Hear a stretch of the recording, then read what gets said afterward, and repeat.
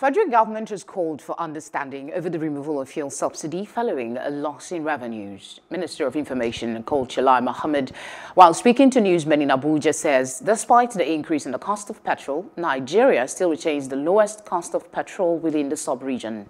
Mohammed says the federal government has expended about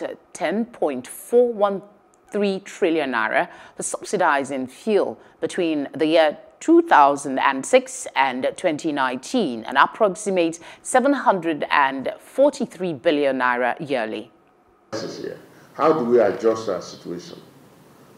One of the problems successive governments have been trying to handle is this issue of subsidy. If every government has been trying to achieve this, then you know that it is in the national interest for us to achieve it at one point we must achieve it.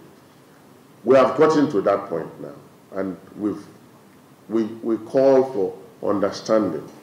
In spite of the recent increase in the price of fuel to 162 naira per liter, petrol prices in Nigeria remain the lowest in the West Central African sub-regions.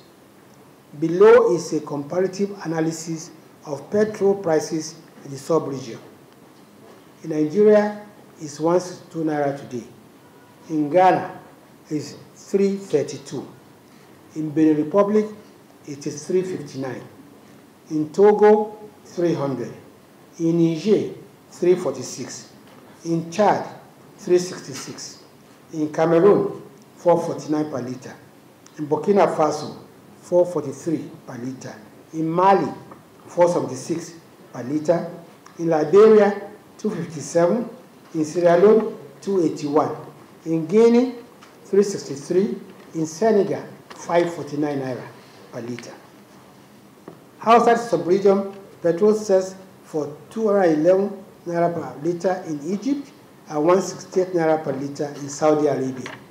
You can now see that even with the removal of subsidy, fuel price in Nigeria remains the cheapest in Africa.